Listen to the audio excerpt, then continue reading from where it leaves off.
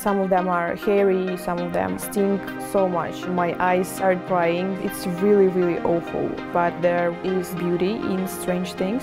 My name is Daria Fedorova. I'm from Moscow and I'm a mold artist. So I grow colonies and they're living. Firstly, I cook special microbiological nutrient and once I have prepared dishes, I have two minutes before the nutrient is hardened to work with different pigments, inks and paints. I go outside, let spores be glued on the top of the petri dish. Molds go in three, four weeks, maybe half a day even. It's always a surprise. They're super intelligent and super colorful and textured. I mean, I, I have no words People say that it's not the art and they have absolutely the same in their fridge. I have molded house and I have zero intelligence because I'm gonna die soon, but I don't care, okay? I just don't care.